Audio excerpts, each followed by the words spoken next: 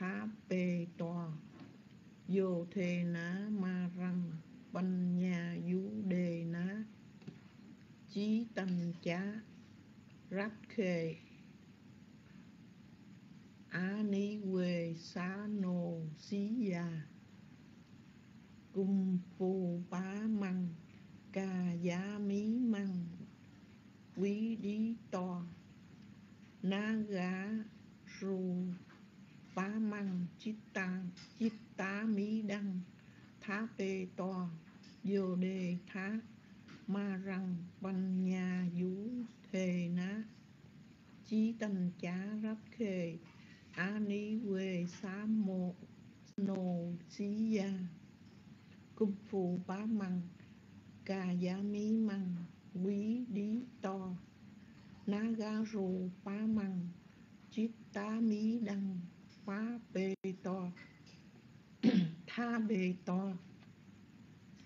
Vô thề ná ma răng. Bạch nhà vú thề ná. Chí tâm chá lát khê. Á ní quê xá nô xí gia. Biết thân như đồ gốm, trú tâm như thành trì. Chống ma với gươm trí, dựa, giữ chiếm thắng không tham bản dịch của hòa thượng minh châu. Thân này gốm sứ mong manh, tâm này kiên cố, thủ thành chống ma, gươm vàng trí tuệ vung ra, giữ gìn chiến thắng một tòa vô tham. Bản phổ thơ của hòa thượng giới đức. Và cẩm dân đã ôn bài xong, mến mời bằng tay của trần phùng.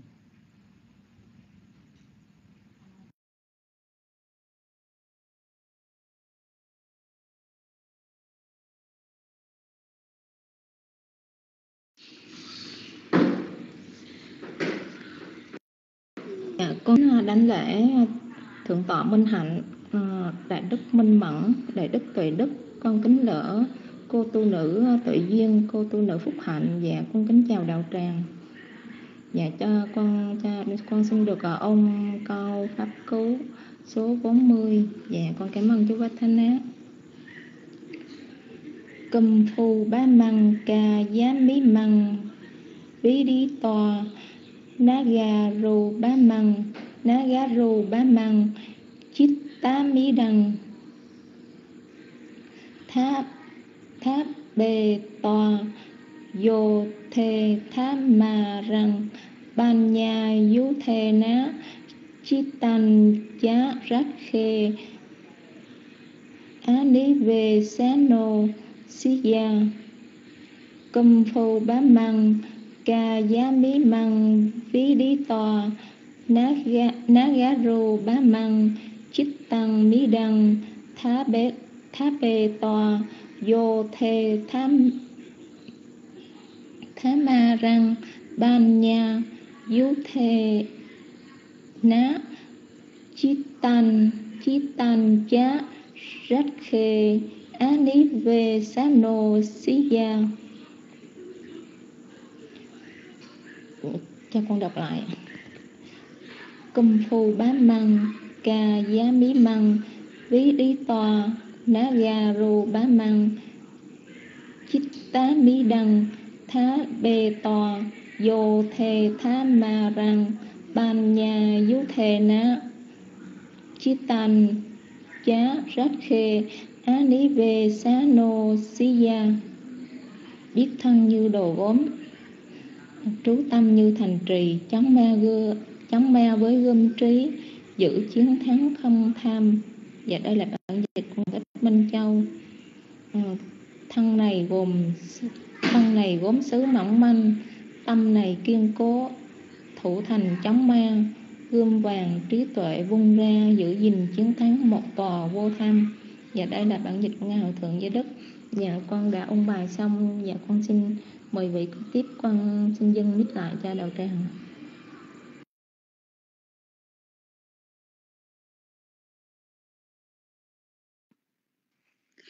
Cảm ơn uh, trần phụng. Và um, con uh, cảm ơn uh, dạ à, cảm ơn chị uh, nhật huỳnh trần đông và quang thanh để biết âm thanh rõ. Dạ nam mô bích thai giá nam mô tham ma giá nam mô sân khai giá. Con kính định lễ à, thượng tọa minh hạnh con à, kính định lễ. À, đại đức à, minh mẫn định à, con à, kính định lễ đức à, tuệ đức. Và à, cô tu nữ à, tuệ duyên. Và con à, xin à, đọc câu à, pháp cú số 40 ạ. À. cầm phù ba mằng cà ya mi mằng quy đi tòa.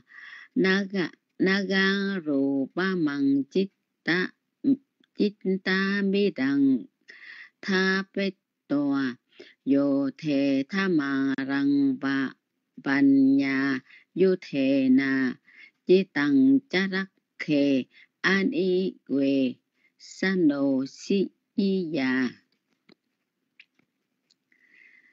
biết thân như đồ gốm trú tâm như thành trì. Chống ma với gươm trí, giữ chiến thắng không tham và đó là bản dịch của hòa thượng thích minh châu. Thân này gốm sứ mỏng manh tâm này kiên cố thủ thành chống ma. Gươm vàng trí tuệ vung ra giữ gìn chiến thắng một tòa vô tham. Và đó là phổ thơ của ngài dưới đức Dạ, con xin đọc kệ cầm phô pa măng, cà gia mi măng, quy định toan naga ba măng, chỉ ta mi đăng, tha bết toan yo thể tha ma răng bản na yu thế na chỉ tăng cha răn khê à ni quê san đô san nô si yang cơm vi phu pa măng ca ya mi măng, đi quy đi toang ru pa măng si ta mi đăng tha pen toang yo thế tham răng ba na yun thế na. Chế tăng cha răn khe ani à we sano si yang biết thân như đồ gốm chú tâm như thành trì chống ma với gươm trí giữ chiến thắng không tham. Và bản dịch hòa thượng thích minh châu thân này gốm sứ mỏng manh tâm này kiên cố thủ thành chống ma. Gươm vàng trí tuệ vung ra giữ gìn chiến thắng một tòa vô tham. Và đó là bản dịch của à, đó là phổ thơ của ngài dưới đức. Và con à, kính mời à, cô tuệ duyên kế tiếp ạ. à.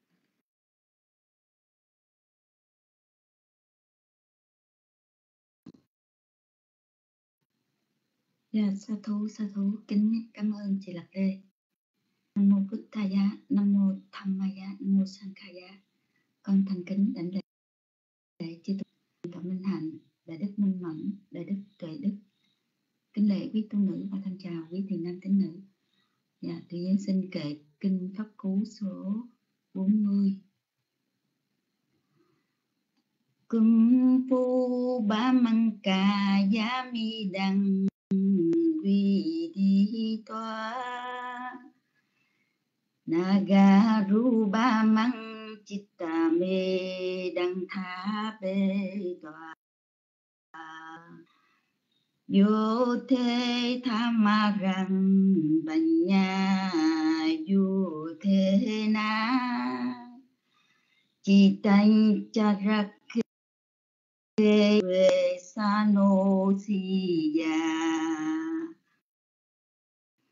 công phu yami ca giá mi mà giá mi măng vì thi toa naga ru măng tha bê toa yo thế tha ma rằng bệnh nhà du thế na Chitang cha Chitang sa no si ya. Biết thân như đồ gốm, Trú tâm như trì. Chống chiến thắng không tham, Khổ thơ này của Hòa Thượng Thích Minh Châu.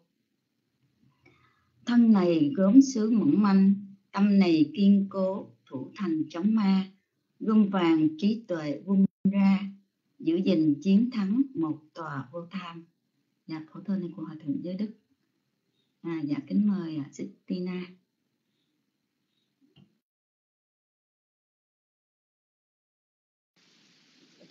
dạ, con kính đảnh lễ ban ngôi tam bảo, con kính đảnh lễ với sư với cô tư mỹ và con kính chào đạo tràng. Con xin phép được đọc câu pháp cú số 40. Cung phu pháp măng kha giác nhất năng viết tích tòa na các yu pháp măng chít các mi tăng tháp bê tòa dù thề tháp mà rằng phần nhà nhất thề nát chít tăng chát lát thề á nít về sát nô xí già biết thân như đồ gốm trú tâm như thành trì chống ma với gương trí giữ chiến thắng không tham của hòa thượng thích minh châu. Cùng phu ba măng thà ya mi măng vi trinh toa na đa ru ba măng, trì ta mi đăng tha trinh toa yo thế tha ma rằng phân ya như thế na chỉ tâm cho lanh khê à ni sa du si ya cùng phu tham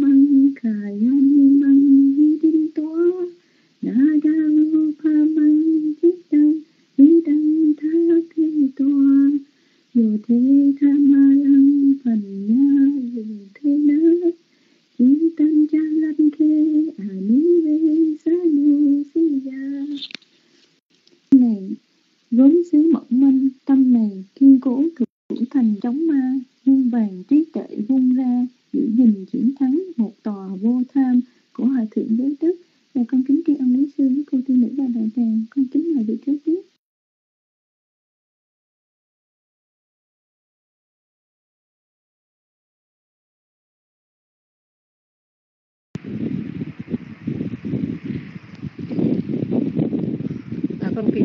ba ngôi tam bảo, Phật bảo, Pháp bảo và Tăng bảo ạ.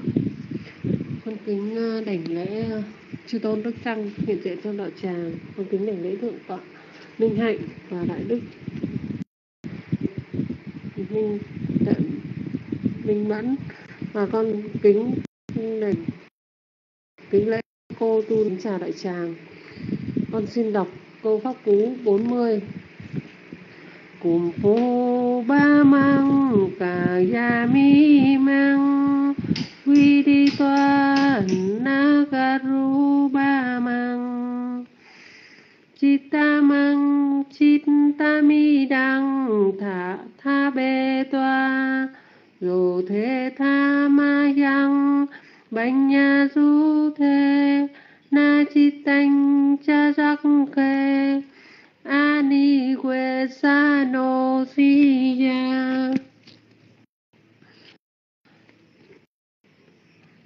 xin à, đọc, biết là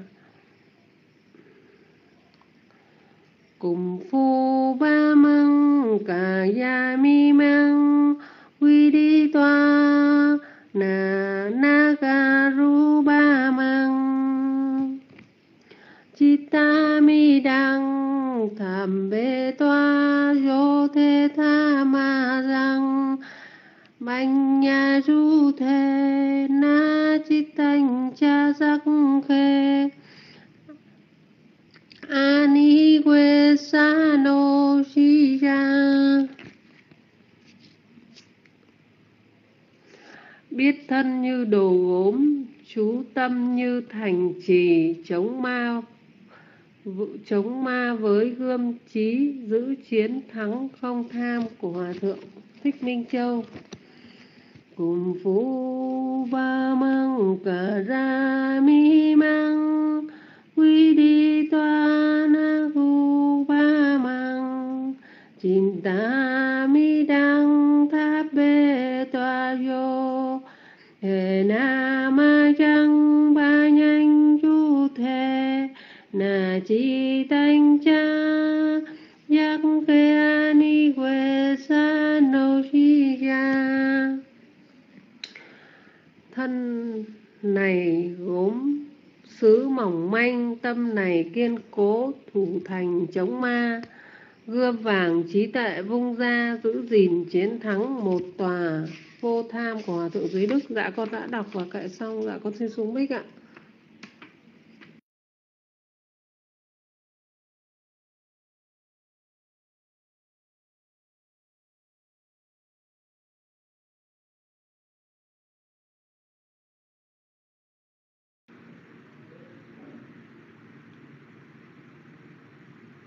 alo dạ con cảm ơn ờ, cô Nhật Huỳnh cô Dạng Đông cho con biết tín hiệu. Dạ lâu lắm rồi con không lên mic.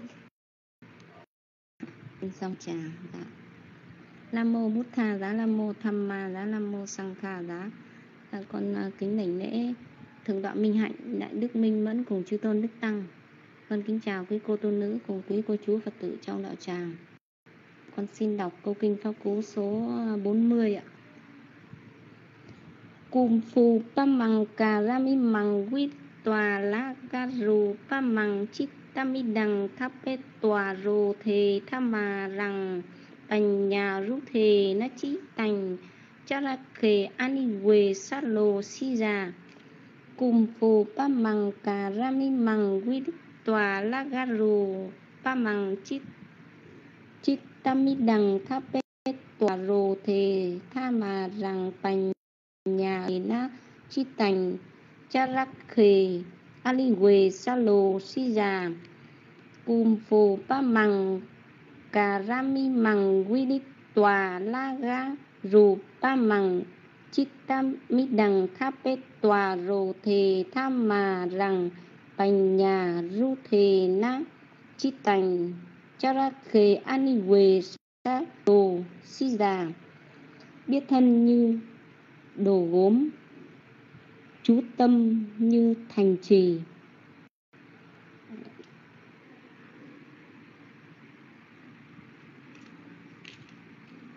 Chống ma với gươm. Ý giữ chiến thắng không tham. Đó là bản dịch của hòa thượng thích minh châu. Dạ con đã đọc bài xong. Dạ bây giờ con xin xuống mic ạ. Giờ con kính mời cô Nhật Huỳnh ạ Nam Mô Bút Tha Giá dạ.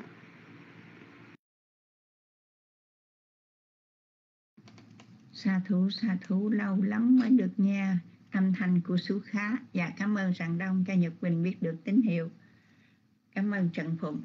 Nam Mô Bích Tha Giá một lần nữa con thành kính đảnh lễ chư Tôn Đức con thành kính đảnh lễ Đại Đức Minh Mẫn cùng chư Tôn Đức vừa quan năm vào đạo tràng Nhật Quỳnh kính lễ quý bà quý cô tu nữ Nhật Quỳnh kính chào đạo tràng và cảm ơn Quang Thành. Và hôm nay Đại Đức Đại Đức mở hàng đắt hàng quá. Dạ xa thú lành thai. Dạ à, sư cố gắng vào đạo tràng sớm như vậy bạch sư để sư tiêu không ôn bài để cho phật tử có phần uh, hoan hỷ. Dạ năm mô bích tha giá. Dạ bây nhật quỳnh kính cảm ơn cô tu con thành kính đảnh lễ tri ân đại đức đại đức đã hoan hỷ cùng chúng con ôn bài pháp quốc kinh số 40 nhật bình kính cảm ơn cô tủ nữ tệ duyên. Và quý chị em đã hoan hỷ lên ôn bài. Dạ bây giờ thì dạ, nhật bình kính mời quý vị cùng với nhật bình lắng tâm thanh tịnh cung thỉnh pháp sư. Trước khi đạo tràng chúng ta được đại đức minh mẫn giảng dạy bài học ngày hôm nay. Nam mô Bích tha giá nam mô tham ma giá nam mô Sang kha giá. Nam mô Namo tassa bhagavato arahato samma sambuddhassa Namo tassa bhagavato arahato samma sambuddhassa Namo tassa bhagavato arahato samma sambuddhassa Tạm thiên vận nhậm a phận nhận là Biết làm ở làm dạy thời nhâm vương lập gia, Ngài dời chân sang Thuyết pháp độ các hàng đệ tử Có năm thầy thính dự pháp từ đó là nhóm kiều chẳng như được nếm hương vị hữu dư niết bàn. Rồi từ đầm mở mang giao pháp ma bốn mươi lăm giáp vẹn toàn. Một lòng chân thối không mòn những điều lợi ích hằng còn lâu năm cà tam giới thừa ân phổ cập ma mưa lành rưỡi khắp thế gian. Bởi nhân cơ tính rõ ràng thịnh ngài thuyết pháp nói đàn tự bi. Chúng sanh ngồi khắp chốn ni tối mê cầu được, tri tri vẹn toàn. Nam mô bích ha giá. Dạ đạo tràng, chúng con đang trang nghiêm thanh tịnh. Con xin thay mặt đạo tràng thành kính lãnh lễ cung thỉnh đại đức minh mẫn từ bi hoan hỷ đăng đàn để chúng con được học từ vựng, duyên sự và ý nghĩa câu cứu kinh số 41 Nhật Quỳnh kính chúc đạo tràng một buổi học pháp được an vui tiến hóa. Dạ sư có nghe được âm thanh của con Con kính nhân mít đến sư ạ. à.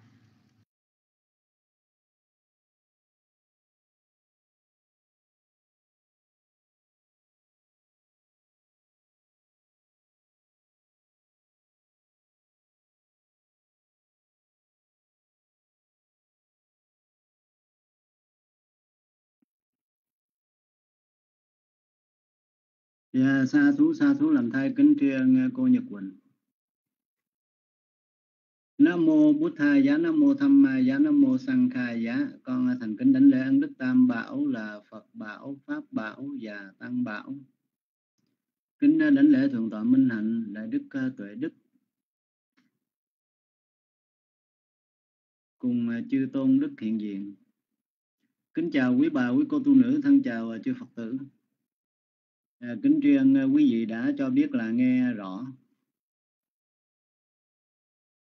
Hôm nay à, chúng ta tiếp tục học đến câu kệ Pháp Cú số 20, 41. À, chúng tôi xin được đọc qua câu kệ này hai lần rồi sau đó chúng ta cùng nhau bước vào phần tìm hiểu ý nghĩa từ vựng và việc dịch văn xuôi.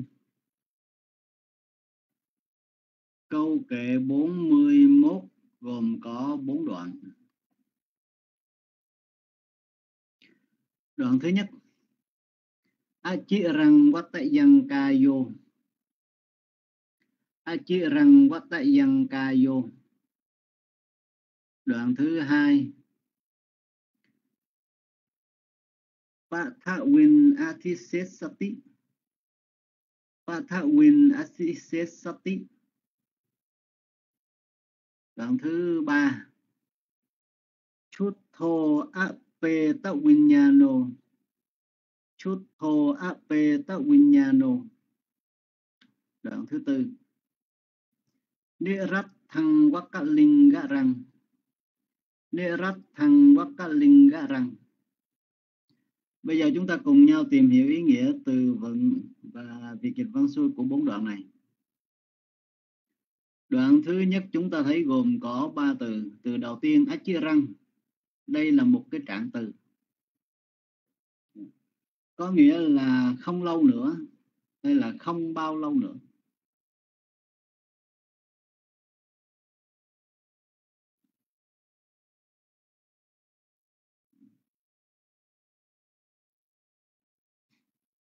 à, mình hiểu không lâu nữa hay không bao lâu nữa đó tức có nghĩa đó là mau thôi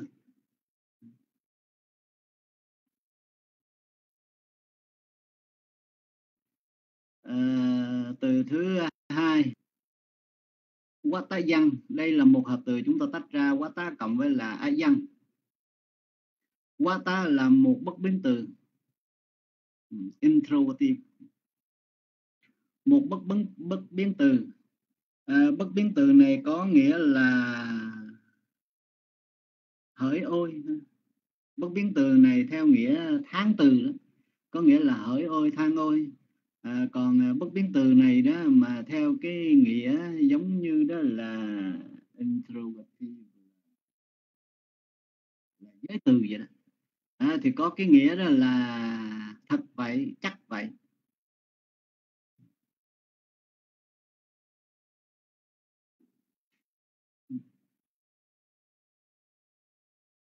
Thật vậy chắc vậy. Ái văn là một uh, chỉ định quan hệ đại từ. a văn có nghĩa là này. A văn bổ nghĩa cho từ ca vô. Rồi từ cuối cùng là ca vô. Ca giá chia theo chủ cách là ca vô. À, có nghĩa là cái cái thân.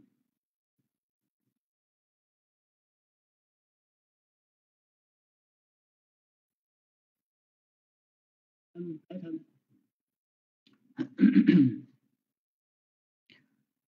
À, chúng ta bước sang đoạn thứ hai. Đoạn thứ hai chúng ta thấy gồm có hai từ từ đầu tiên pathawin pathawi mà chia theo đối cách. Thành ra nó có cái hình thức là win pathawin. Pathawi là đất hay là quả đất? Từ thứ hai athisesti đây là động từ athiseti mà chia theo à, tương lai cách ngôi thứ ba số ít. À, tức là à, chia theo à, cái chủ cách ca vô.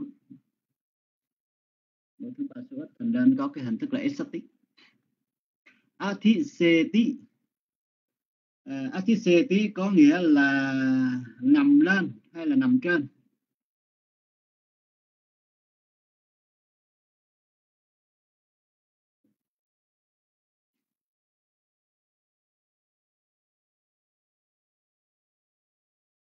Rồi chúng ta bước sang đoạn thứ ờ, đoạn tiếp theo. Dạ. Đoạn này chúng ta thấy gồm có hai từ từ đầu tiên chút thô. À, đây là một cái quá khứ phân từ chút thá à, mà chia thành chút thô là là chia thành chủ cách. À, chút thá là quá khứ phân từ có nghĩa à, ở đây chúng ta lấy theo cái nghĩa thụ động à, là bị à, quăng bỏ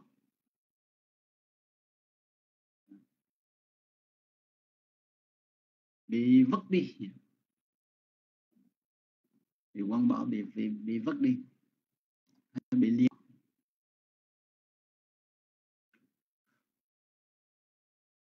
À, từ thứ hai apeta vinyano apeta đây là một hợp từ chúng ta tách ra. Apeta cộng với là winyana. À, mà chia theo chủ cách thành ra nó có cái hình thức là ô apeta là quá khứ phân từ của động từ apeti. Có nghĩa là biến mất, lìa khỏi. Lìa khỏi, đó là ngài hòa thượng minh trong người dịch. À, biến mất, tan đi, lìa khỏi. Vinyana là thức hay là tâm thức? Apeta Vinyana là tâm thức lìa khỏi. Tâm thức biến mất. Rồi chúng ta bước sang đoạn thứ tư.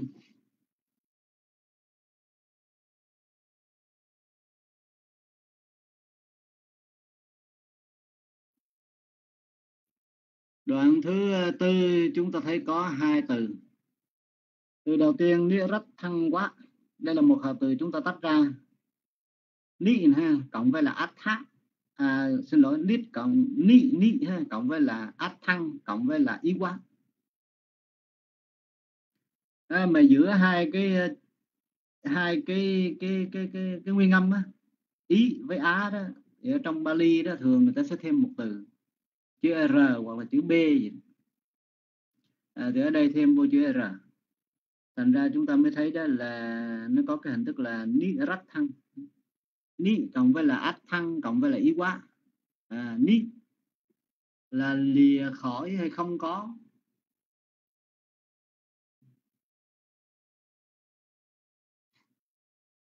À, rồi à, ác thăng là lợi ích hay là giá trị? À, ý quá. Ý quá thì nó giống như từ ở trong tiếng Anh vậy, là as hoặc là like là giống như ví như.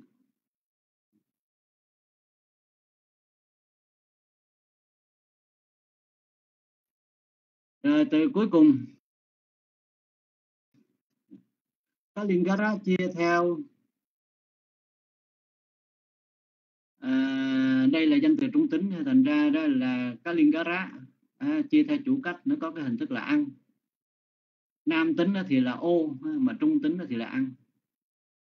Kalingarang là khúc gỗ mục hay là miếng miếng củi mục. Kalingarang kalingara à, là khúc gỗ mục hay là miếng gỗ mục miếng củi mục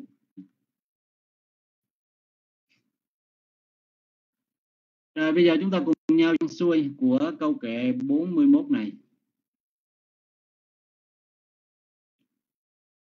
À, dịch văn xuôi đó thì thường chúng ta các cái bất biến từ hoặc là các cái uh, trạng từ chúng ta dịch trước. Thì ở đây vừa có bất biến từ vừa có trạng từ thành ra chúng ta sẽ lấy bất biến từ dịch trước. Quá tá. Thật vậy. A chia rằng không bao lâu nữa á dân ca vô thân này á thi xế sẽ nằm à, sẽ nằm trên Pathawin mặt đất apeta winyano à, tâm thức biến mất.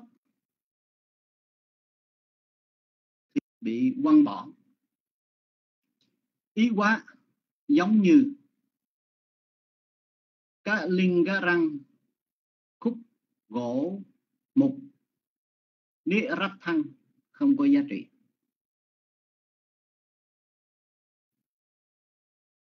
À, chúng tôi ờ, xin được dịch à, lại mà dịch à, văn việt thôi. À.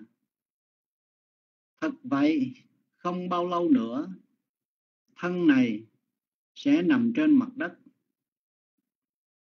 À, tâm thức biến mất thì bị quăng bỏ giống như khúc gỗ mục không có giá trị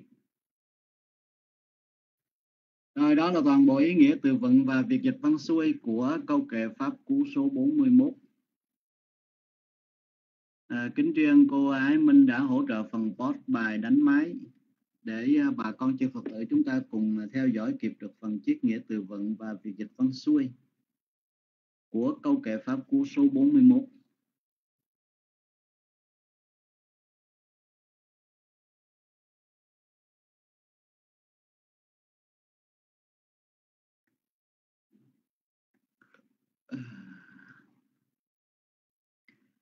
À, tiếp theo chúng con thành kính cung thỉnh chư tôn đức. Xin được kính mời quý bà quý cô tu nữ cùng ờ, toàn thể chư phật tử chúng ta hướng về tam bảo để làm lễ tán dương. Rồi ờ, cùng nhau bước vào học phần 2 và phần 3 của câu kệ. Arahang Sama Sambuddho Phakawa Buddhang Phakawantang Afiwademi suakato Phakawata Thammo Thammang Namasami Supatipanno Phakawato Sawaka Sangkho Sangkhang Namami Namathurattanatayasa Đệ tử xin nghiêm tịnh khẩu cung kính đảnh lễ và dương ơn đức chư Phật. Đệ tử xin nghiêm tịnh thân khẩu ý cung kính đảnh lễ và tán dương ơn đức chư Pháp đệ tử xin nghiêm tịnh thân khẩu ý, cung kính đảnh lễ và tán dương ân đức chư tăng. Phước báo phát sanh do sự cung kính đảnh lễ và tán dương ân đức tam bảo một cách tóm tắt này. Chúng con thành kính cúng dường đến chư tôn đức. Xin được chia đều đến quý bà, quý cô tu nữ cùng toàn thể chư phật tử. Nguyện cầu phước báo và chư thiên hộ trì quý ngài và quý vị được thân tâm an lạc trong suốt thời gian sinh hoạt phật pháp tại râm pháp cú kinh nam mô bổn sư thích ca mâu ni phật. Dạ, xin hỏi quý vị nghe âm thanh có rõ có to không hay là có nhỏ không? À bây giờ thì nghe nhỏ rồi ha. Rồi.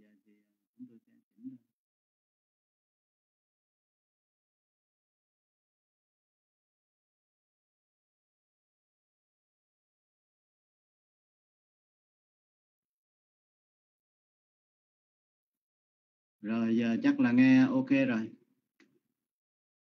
Giờ giờ quý vị nghe chắc là ok rồi ha. Alo. Dạ rồi rồi. Nghe tốt rồi.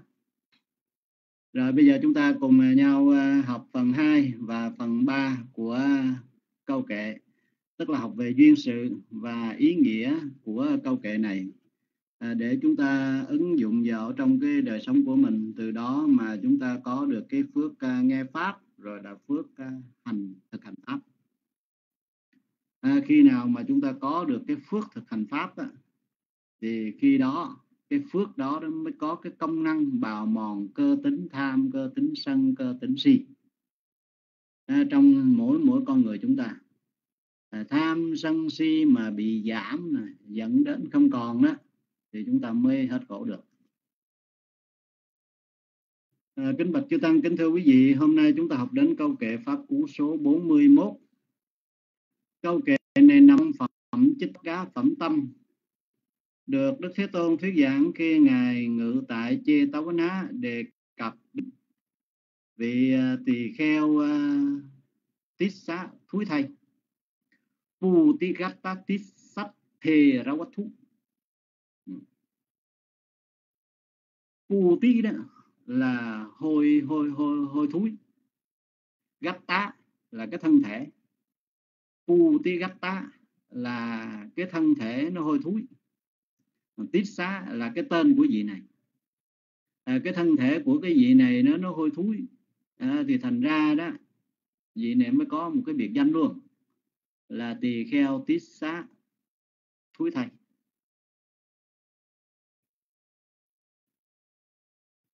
Ờ, vào ờ, thời kỳ ờ, đức phật.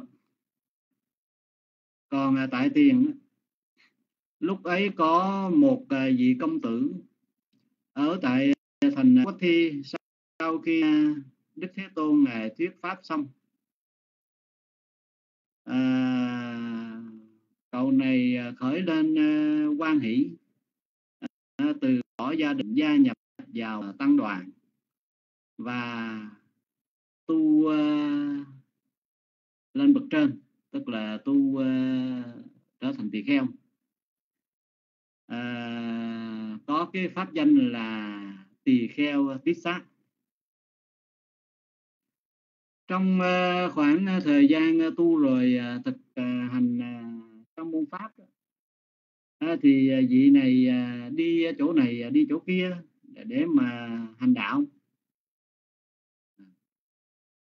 Thì à, lúc bấy giờ đó là do cái à, nghiệp à, quá khứ nó chi phối. À, mình hiểu nghiệp quá khứ lúc này đó trở thành là chướng nghiệp. À, thành ra đó là cái thân thể của cái vị này đó mới nổi lên các cái đốm. À, mới ban đầu đó thì à, các cái đốm này đó nó khiến cho cái vị này ngứa ngáy à, nhưng mà nó nhỏ nhỏ thôi. À, rồi về lâu về dài đó càng ngày các cái đốm này nó nó càng to lên to bằng hột đậu xanh rồi hột đậu đen rồi to hơn nữa. Khắp cả châu thân của cái vị này đó các cái đốm đó, đó nó nổi lên vậy. Ờ, và các cái đốm này nó nổi lên nó giống như là một một ghẻ vậy đó. À, thì nó nổi lên là nó phải lỡ ra à, cái bắt đầu đó là thân thể của vị này là, là lỡ loét khắp các nơi. Mà lỡ loét vậy đó thì là có mũ này có nước vàng nó ra. À, thì lúc đó dẫn đến sẽ có cái mùi hôi. À, thành ra đó là người ta mới gọi cái vị này đó là tỳ kheo tiết xá à, thối thầy. Tức là cái thân à, cái thân thể nó hôi thối và xin thưa quý vị đó à, cái chướng nghiệp nó chưa có dừng ở đó đâu. À, mà nó còn tăng trưởng hơn nữa đó là về sau đó. Thì à, không phải chỉ có da lở loét thịt đó, lở loét mà đến xương cũng mục gãy yeah, dạ, cũng mục gãy yếu ra đó là xương mà nó mục gãy vậy đó thì là mình ờ, có di chuyển đâu có được được nữa. À, thì à, vị này đã mới không còn à, à, tự mình à, mặc mà tự mình cởi y tự mình à, giặt vũ đồ nữa.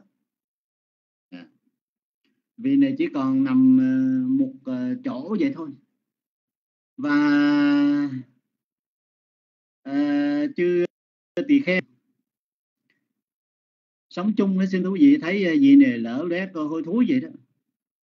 À, cái bắt đầu là bỏ gì này nằm ở trên giường ở phía ngoài với mình vậy. À, rất là có thể nói đó là cô đơn rồi là lạnh lẽo buồn tủi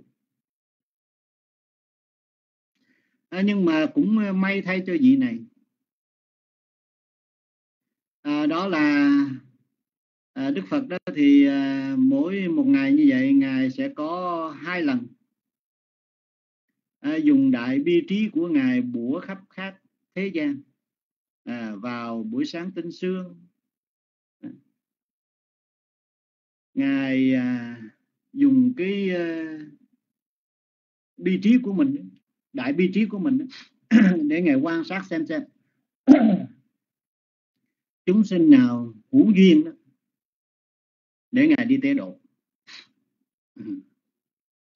À, rồi đến buổi chiều chẳng giảng ngài cũng lại dùng đại bi trí để mà quan sát xem xem ở trong thế gian ai có hữu duyên với ngài để ngài tế độ. À, thì à, sáng hôm đó ngài à, quan sát và ngài thấy được cái túc duyên của vị tỳ kheo tiết xá thối thay này à, đã đến hồi à, viên mãn. À, cho nên đó là đức thế tôn ngài mới đi ra khỏi hương thức của ngài. Ngài đi xung quanh cái tịnh xá như đi kinh hành vậy đó. Rồi cái ngài đi đến cái chỗ uh, nấu uh, nước ngài uh, lấy uh, bình ra rồi ngài xúc rồi ngài mới uh, châm đầy nước vô bỏ lên lò uh, để uh, chờ cho nước nó sôi lên nó nóng nóng lên nó sẽ thú vị khi mà đã nóng rồi đó ngài mới đem đến cái giường chỗ mà vị tỳ xá này đang nằm đó. lúc này vị tỳ kheo tí xá này đã không có đi đứng gì được nữa à, chư tăng thấy ờ, đức thế tôn ngài làm vậy đó thì bắt đầu đó là mới à, à, chạy đến. Rồi tranh nhau à, bạch ngài xin ngài để chúng con phụ chúng con làm cho rồi bắt đầu đó chư tăng mới à, xúm nhau lại. À, khiêng cái chiếc à, giường đó à, cùng với người đem vào ở trong phòng đó à, cho nó kín gió lại rồi nó nấu nước nè. Ờ, Đức Phật. Ngài mới uh, khiến ngài sai đó chư tăng uh, lấy chậu rồi chế nước vô bắt đầu mới cởi dây trái của cái gì đó ra uh, giặt uh, cho nó sạch sẽ rồi đem ra phơi rồi uh, lau uh, lau cho cái gì này sạch đi các cái chất dơ như là mũ nước vàng rồi chẳng hạn rồi à, cái y à, vai trái ngoài nó khô đó thì đem vô mặt rồi bắt đầu mới cởi cái nội ra. Rồi đem đi giặt đem đi phơi rồi cũng chùi bớt rồi ở phần dưới. À, thì xin thưa quý vị sau khi mà làm tất cả các cái công à, việc giặt vũ rồi chùi rửa rồi gì này mặc y áo rồi vô. À, tươm tất hết á. À, thì lúc này đó vị này có cái cảm giác đó là bớt đau xin thú vị. À, lúc đầu đó là các cái mục lỡ rồi nó lỡ ra rồi y nó dính vô đó thì đau khó chịu. À, bây giờ đó là chùi rửa rồi nó khô rồi đó y áo rồi nó cũng sạch sẽ nó mặc vô đó thì theo quý vị có cái cảm giác như thế nào? Nó cũng dễ chịu hơn chứ. À, thì dễ chịu hơn đồng nghĩa với việc là thân thức thọ khổ nó giảm rồi. À, thỉnh thoảng nó cũng có được cái thọ lạc à, thì từ cái chỗ đó, đó mà tâm của vị này đó cũng dễ dàng bình ổn hơn. À, thì ngay cái lúc đó đó à, Đức Thế Tôn ngài mới à, đi đến cái à, đầu giường cái đầu nằm của cái à, vị tỳ kheo này nè. Cái ngài nói này tỳ kheo cái thân của ông đây đó một khi tâm thức nó lìa bỏ rồi à, thì nó không có cái chỗ sở cậy. À, có chỗ sở cậy. Mà nó sẽ nằm ngay trên mặt đất đó, giống như một cái khổ mục không có giá trị cả. Nói như vậy xong đức thế tôn ngài mới thiết lên câu kệ. A chi răng wat yang kayo patha win atisesati chutho ape ta vinyano ni rat thăng waka linh gạ răng.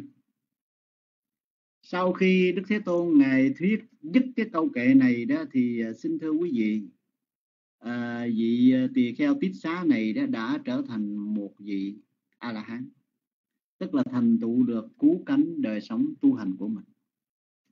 À, câu à, à, chư tỳ kheo đó mới uh, súng lại với nhau ờ, bàn tán xôn xao rằng là tại sao ờ, uh, vị tỳ kheo uh, à không không rồi cái uh, vị tỳ kheo này mà vừa thành tựu cứu cánh đời sống phạm hạnh một cái đó thì xin thưa quý vị đó là lìa bỏ cõi đời này. Đấy, bắt đầu uh, chư tỳ kheo mới bàn tán xôn xao uh, hỏi uh, đức thế tôn chứ bạch ngài vị tỳ kheo tiết xá chết rồi đi về đâu? Cái đức thế tôn ngài trả lời đó là tỳ kheo tít xá niết bàn rồi không có đi đâu về đâu nữa cả. À, cái uh, chư tăng mới bàn tán xôn xao rằng là một người có cái khả năng uh, thành tựu của cánh đời sống phạm hạnh chấm dứt mọi khổ đau tử sinh luân hồi vậy đó. Vậy mà tại sao ở trong đời sống lại gặp nhiều cái khổ đau vậy? À, thân thể lỡ loét à, xương đó thì mục nát vậy nằm chỗ à, cái đức thế tôn ngài mới nói đó là cái gì nó cũng có nhân có duyên hết á. À, chư tăng yêu cầu đức thế tôn ngài mới kể cái câu chuyện quá khứ. Đó là vào thời kỳ ờ, đức phật Kassapa à, ờ, thì vị tỳ kheo tiết xá này là một thợ săn à, chuyên đi bắt à, thú rừng bắt chim à, để mà bán. À, những con chim nào mà bán không có hết á, à, thì vị này bẻ cánh bẻ chân sợ nó bay à, để trong lòng ngày mai bán tiếp chứ không đó thì nó bay. À, và rồi bản thân của vị này đó cũng ờ, thọ dụng. À, suốt cuộc đời của vị này đó đã sống bằng cái nghề như vậy. À, nhưng mà rồi có một ngày nọ có một vị thánh lậu tận a la hán ôm cái bình bát đi ngang qua nhà của cái vị thanh niên này. Trong khi vị thành vị thanh niên này đó đang ngồi thọ dụng tức là đang ngồi ăn cơm à, một bữa cơm cũng rất là tươm tất ngon lành. Cái à, người thợ săn này mới thấy à, vị tỳ kheo thánh lậu tận đang đi đến đó, đó với tướng hảo quang minh lục căn thanh tịnh. À, cách đi đứng khoan thai thánh thiện thoát tục. Mới khởi lên một cái niềm tin một cái sự quan hỷ vô hạn. À, nghĩ rằng mình sống cái nghề này nè nhiều tội lỗi quá. Ờ, à, thì giờ đó là tạo phước đến ngay đó để à, giảm bớt đi một ít ờ, tội lỗi à, thì xin thưa quý vị cái cách nghĩ này đó cũng là cái cách nghĩ ờ, của người có trí. À, cho nên đó là vị à, thanh niên này mới lập tức ra xin bác ngài vô. À, rồi à, bỏ thức ăn thượng hảo hà thượng hảo hạng à, vô bác của ngài. Rồi mới đưa bác cho ngài xong cái sụp xuống à, đảnh lễ bằng ngũ thể đầu địa tức là năm tóc chạm đất. Đánh lễ xong mới phát nguyện bạch ngài cho con. Trong đời sống tương lai được thành tựu cái pháp an lạc giống như ngài. Tức là phát nguyện à, chứng đắc quả vị a la hán à, thì vì tỳ kheo thánh lậu tận đó là phúc chúc à, cho thiện nam thành tựu được như ý nguyện rồi bỏ đi. À, thì à, do cái là vị tỳ kheo tiết xá này ở trong đời sống quá khứ đã sống một cái đời sống sát sanh đánh đập sát sanh chúng sinh khác. À, do cái nghiệp đó, đó mà đời sống hiện tại vị này mới bị lỗ loét thân rồi thân à, rồi xương cốt nó cũng bị mục. Còn do cái nhân mà cúng dường đến à, vị thánh đầu tận rồi phát nguyện thành tựu an lạc pháp của ngài đó đến thời điểm này nè cũng được chín mùi cho nên trổ quả khiến cho vị này thành tựu được quả vị a la hán cho thành tựu được quả vị a la hán và xin thưa với quý vị, câu kệ pháp cú này được ngài hòa thượng thích minh châu dịch kệ thơ năm chữ. Không bao lâu thân này sẽ nằm dài trên đất, bị vứt bỏ vô thức như khúc gỗ vô dụng. Đồng thời ngài hòa thượng giới đức thì dịch là, mai kia thương xót thân này nằm vùi đất lạnh tháng ngày, nắng mưa. Vô tri một đống thịt thừa, gỗ mùng vô dụng sẽ cưa làm gì? Và chúng tôi cũng có dịch văn xuôi nữa cho nên qua ba bản dịch này đây là ba cái phần tham khảo để ờ, chúng ta hiểu ý nghĩa ẩn chứa ở trong câu kệ Bali mà Đức Phật ngài dạy. À, dựa trên cái duyên sự mà chúng tôi mới vừa kể à, để chúng ta hiểu ý nghĩa ẩn chứa trong câu kệ. À, qua đó à, chúng ta ứng dụng vào trong đời sống của mình. À, thì đến một lúc nào đó à, duyên lành đến mình cũng có thể thành tựu được cú cánh đời sống tu hành giống như vị tỳ kheo này. À, vậy xin thưa quý vị câu kệ này đức thế tôn ngài dạy cái gì? Chi răng quá tại văn ca vô bát thả win athi se athi athi se sati chút thô ape ta vinyano à, nirathang quá cả linh cả răng. À, nếu mà bà con chư Phật tử chúng ta có để ý có chú ý tí ha thì đây là một cái câu kệ mà chư tăng đó, à, thường tụng đọc à, trong à, các cái à, đám à, ma hoặc là cầu siêu đây là một cái một trong những bài kệ nằm ở trong cái gọi là trong nhóm gọi là đọc động tâm sang quê chani yagatha kệ động tâm à, cái câu kệ này ngài à, hòa thượng à, hộ tông ngài dịch ở trong, cái cuốn, cuốn, cuốn, cuốn kinh tụng của ngài đó. À, thì ngài dịch đó là thân này chẳng tồn tại bao lâu đâu khi tâm thức lìa bỏ rồi thì nằm trên mặt đất như đóng tro tàn tìm sự lợi ích cũng chẳng có. À, chúng tôi đọc cái uh, văn việt à, mà ngài hòa thượng hộ tông ngài dịch này đó chắc có lẽ quý vị nghe hơi quen quen. Dạ, vậy thì uh, xin hỏi quý vị câu kệ này đức thế tôn ngài dạy cái gì? Qua câu kệ này mình học được cái gì?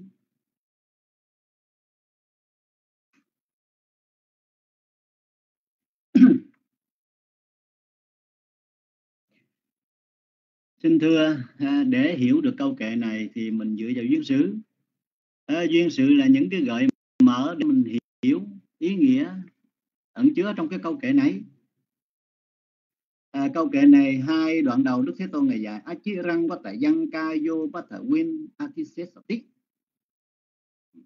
không thật vậy không bao lâu nữa à, cái thân này nè sẽ nằm trên mặt đất.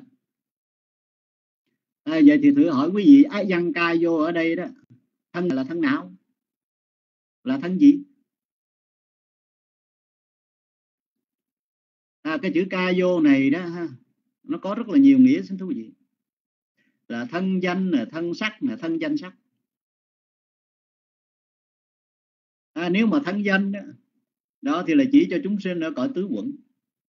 Còn thân sắc đó, thì là chỉ cho chúng sinh ở cõi nhất quẩn. Còn mà thân danh sắc thì chỉ cho chúng sinh ở cõi ngũ quẩn.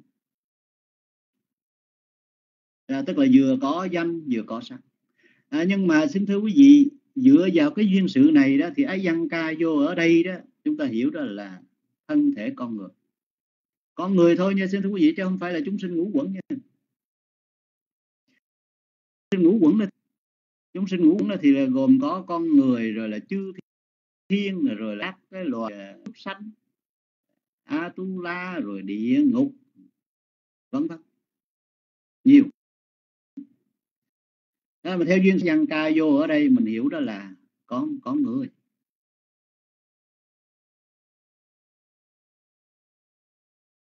Đó là ám chỉ cho cái gì tỳ kheo này này xin thú vị. À, nhưng mà nếu mà mình hiểu rộng ra đó mình hiểu rộng ra nữa đó thì có được không xin thú vị?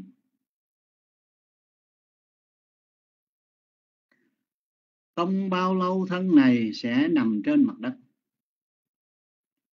à, điều đó có nghĩa đó con người của mình đó dựa theo duyên sự này mình mình hiểu là con người của mình.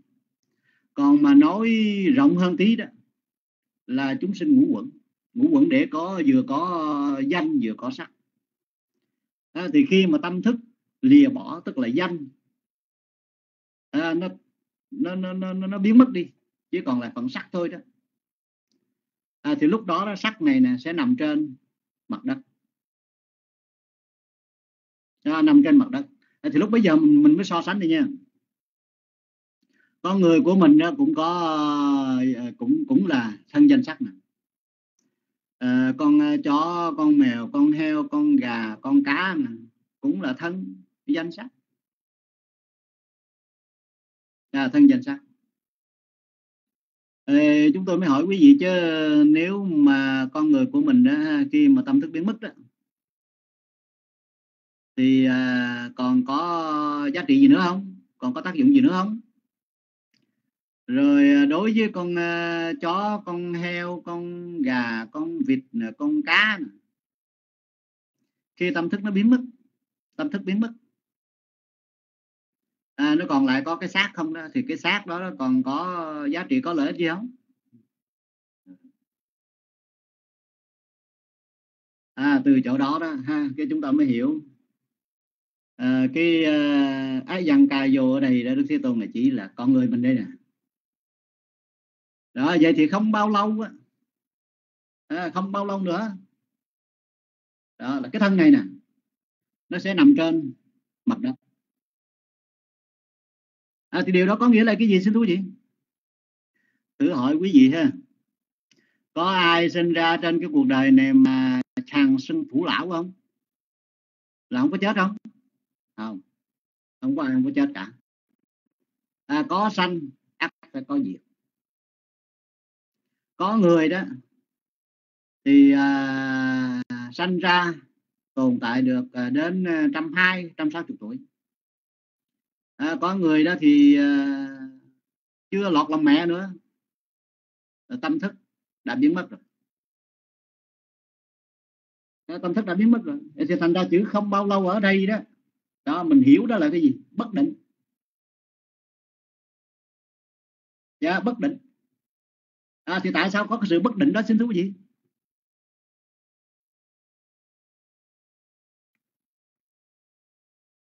chết có bao nhiêu nhiều, nhiều nguyên nhân xin thú vậy? à, chết. À, người ta ví giống như một cái ngọn đèn tắt vậy ngọn đèn tắt nó có bốn nhân. Một là nó hết dầu. Hai là nó hết tim. Ba là cả tim và dầu hết cùng một lúc. Thứ tư là do mình thổi nó. À, hoặc là gió tức là do một cái tác nhân bên ngoài. Đó là có bốn nhân vậy đó. À, chết đến với con người của mình nó cũng có bốn nhân vậy đó sư thú đó là hết cái nghiệp là chết nè. À, thì cái nghiệp duy trì của mình đó thời buổi giờ này chúng sinh sống bình quân khoảng 74 75 tuổi mình sống được ở đó, đó là xem như hết nghiệp. Là mình chết. À, à, là do đời sống quá khứ đó mình à, gìn giữ nè ha. À, không có đánh đập nè không có sát hại chúng sinh khác. Cho nên đó là có được cái phước sống lâu sống dài đó mình chết. À, thành ra đó là có người người ta sống ờ, hơn 75 80 90 trăm. À, rồi à, à, có người đó xin thú vị đó là chết trước tuổi. Như vậy thì kheo này cũng chết trước tuổi. À, thì chết trước tuổi ở đây đó là do một cái nhân tác động bên ngoài. À, thì nhân tác động bên ngoài đây nói theo nghiệp đó là bị đóng nghiệp sống mỗi một chúng sinh nó xuất hiện ở trên cuộc đời này đó xin thú vị là do tâm thức tâm tâm thức nó dẫn đi tái à, như con người của mình đó thì, thì tái sanh bằng chính tâm. Là tám tâm đại quả à, một quan sát thọ xã quả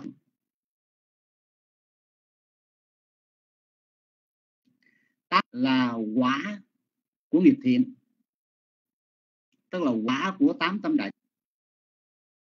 À, do một cái nghiệp thiện nào đó ba một trong tám cái quả này. À, để dẫn đi tái sanh. À, thì khi một trong tám cái quả này dẫn đi tái sanh thành con người ở đây chúng tôi nói về con người thôi xin thú vị ha. Thì một trong tám quả này nó sẽ đồng sanh với cụ thể đây là ba bọn. Đó là bọn thân bọn giới tính và bọn y vật à, thì khi cái nghiệp nó tạo ra cái quả quả đồng sanh với ba bọn này nè. À, thì cái nghiệp đó đó nó sẽ có cái mãnh lực quy định bọn thân đó đó tồn tại được bao lâu? Dạ tồn tại được bao lâu? À, thì thành thử ra đó ha chúng ta mới thấy đó là có người đó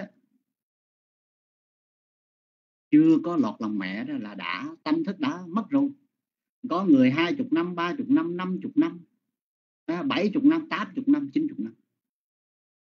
À, thì dầu cho đó là sống ngắn hay là sống dài? Thì ở đây mình phải hiểu vậy nữa. Có sanh ắt phải có tử. À thì khi mà mình hiểu có sanh ắt phải có tử có nghĩa là cái gì đó là tính chất uh, biến hoại đổi thay của pháp hữu vi đấy xin thú vị. Sanh diệt à, đó là cái biểu hiện cái hiện bày của tướng vô thường. À, nhưng mà cái cái cái cái biểu hiện hiện bày của tướng vô thường đó nó, nó lâu quá. Yeah, nó lâu quá thành ra đó mình thấy đôi khi mình cũng ờ, chưa có sợ đâu. À, mà mình phải thấy nó ngắn lại tí nữa. À, như là cái câu chuyện của cái gì này. Vì này khi mà sống ờ, ở nhà đó thưa thú gì thì là còn mạnh khỏe ngon lành nè tướng tá ok không có bệnh hoạn ốm đau gì. À, rồi cái đến ờ, đi tu ngại ra cái bắt đầu đó là gì? Nghiệp quá khứ nó chi phối này khiến cho gì này bị lỡ loét là xương mục là biến quả đối thay rối đây thì cái biến quả đối thay này nó cũng ngắn hơn tí. À, ngắn hơn tí ngắn hơn cái biến quả đối thay của một cuộc đời.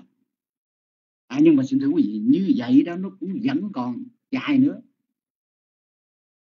À, vẫn còn dài nữa đó là biến gọi đổi thay của cái gì mà nó ngắn hơn nữa?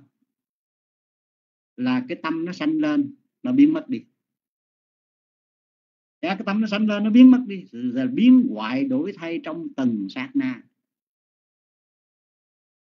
À, mà cái đó thì mình hơi khó hơi khó thấy đấy sư quý vị. Thì thành ra mình có thể thấy được là gì? Biến hoại đổi thay trong từng hành động. Như là lời nói của mình việc làm của mình à, mình à, nói ra cái rồi bắt đầu đó là khi mà mình đang nói ha thì là lời nói nó đang xanh dứt câu cái đó là lời nói đó nó diệt rối. Hoặc là dứt một từ thì lời nói đó đã diệt rối. Đó là sắc pháp nó diệt.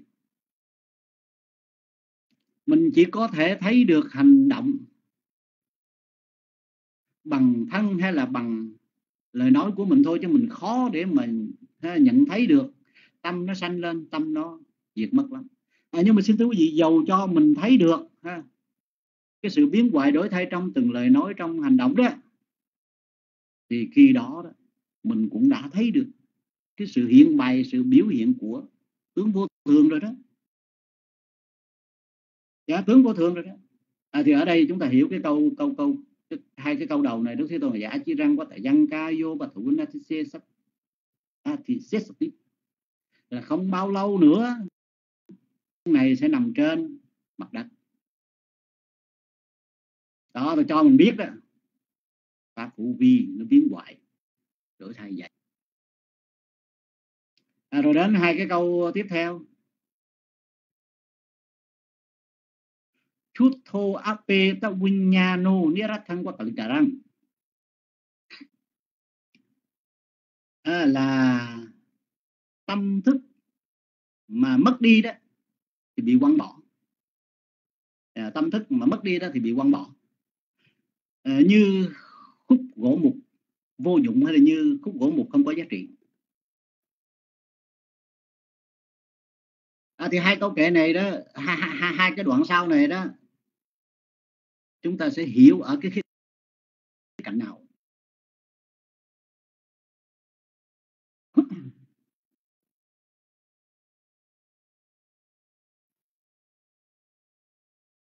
cái thân này đó là cái đồ vật chất xin thưa quý vị. À, nhưng mà là cái gì?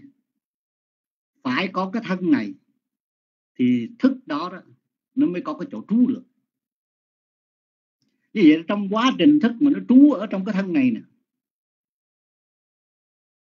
À, trong quá trình cái thức nó trú trong cái, cái, cái, cái ờ, thức nó trú trong cái thân này nè con mắt thì là chỗ trú của nhãn thức lỗ tai là là chỗ trú của nhĩ thức lỗ mũi là chỗ trú của tỷ thức cái lưỡi đó là chỗ trú của thiệt thức. Thân này nè biểu bì đó là cái chỗ trú của thân thức ý vật. À, có người nói đó thì là trái tim có người nói đó là não có người nói đó là cái dòng máu uh, ở chỗ tim. À, nhưng mà đức thế tôn ngày dạy đó là ở nơi nào mà tâm thức nó đương thì ở đó đó được gọi là ý vật à, thì ý vật đó là cái chỗ nương của ý thức.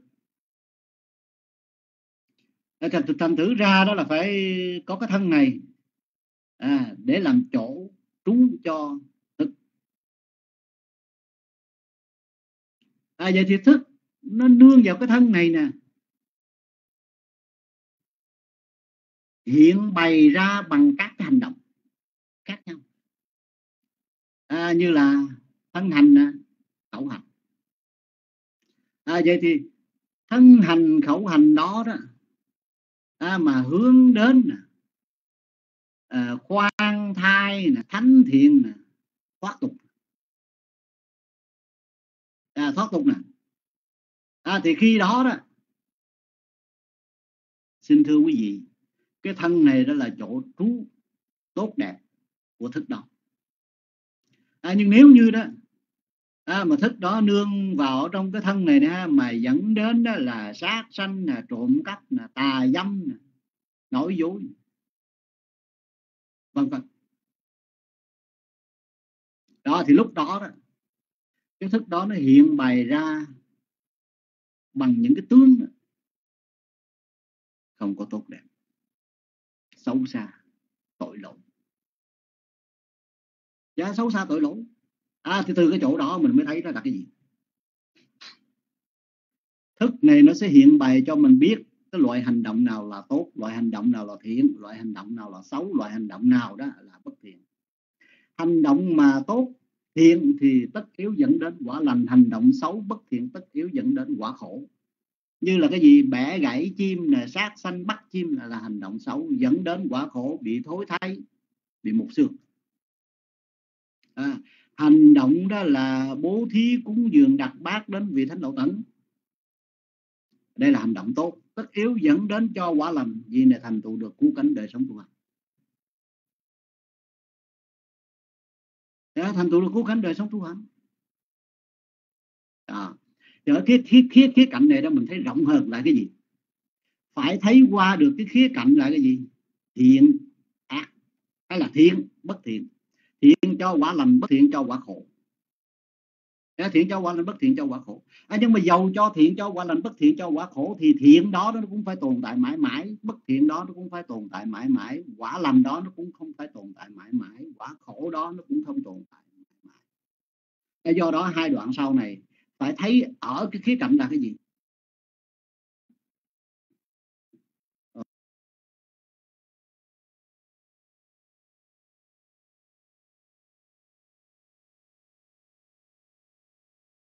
Lỗi xin lỗi sao cái khía cạnh là thiện bất thiện. Tức là thấy ở cái khía cạnh nhân quả nghiệp báo rồi thấy luôn ở cái khía cạnh là gì? Tam tướng.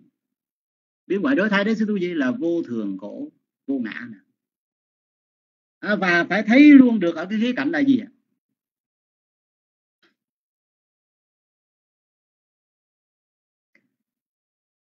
Còn ha còn còn cái thân này đó xin thú vị.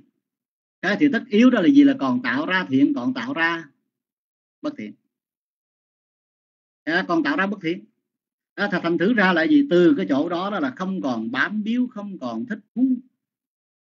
À, không còn quyến luyến gì đối với cái thân này nữa đó.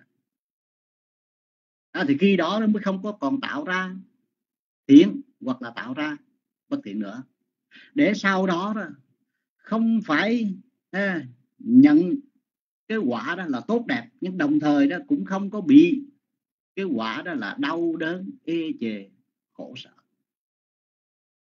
À, tức là có cái sự nhàm chán đối với thân này dẫn đến đó là gì? Yểm ố ly ly tham đối với cái thân này. Ly tham đối với pháp hữu vi thì lúc đó mới thành tựu được của cánh đời sống tu hành tức là không còn tham không còn sân không còn si mê. Thì phải hiểu như vậy đó xin thưa quý vị thì lúc đó đó mình mới có thể à, thành tựu được quả gì a la hán hay là nhẹ nhẹ hơn đó, mới có thể thành tựu được quả gì thánh.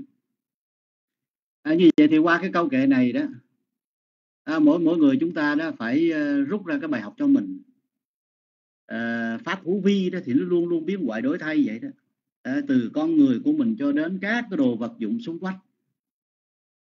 À, biến hoại đổi thay vậy chứ nó không có phải ra là cứ trường tồn bất biến mãi mãi.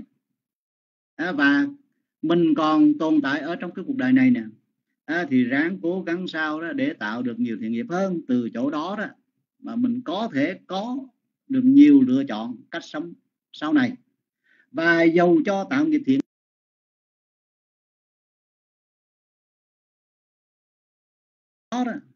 thiện đó.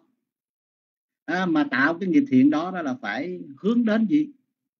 Từ bỏ tham lam sân hận si mê.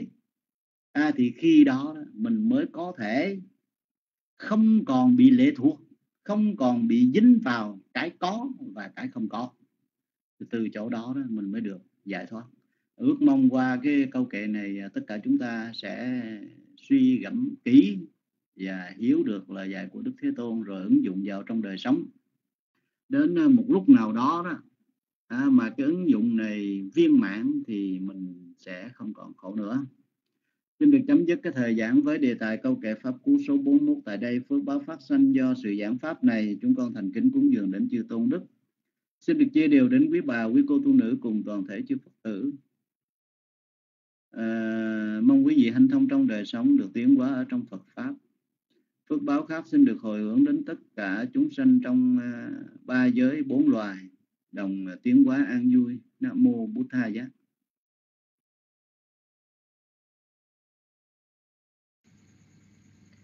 Dạ, sa thú, sa thú. Chúng con kính tri ân Đại Đức Minh Mẫn đã giảng bài học số 41 ngày hôm nay cho chúng con nghe hiểu rõ để cố gắng học hành theo cho được sự lợi ích. Và chúng con kính tri ân Đại Đức. Và con kính thỉnh Đại Đức Minh Mẫn chúc phúc cho rung chúng con được trọn vẹn phước báo vì Thượng Tọa Minh Hạnh đã rời rung. Và con kính dân Mít Đinh Sư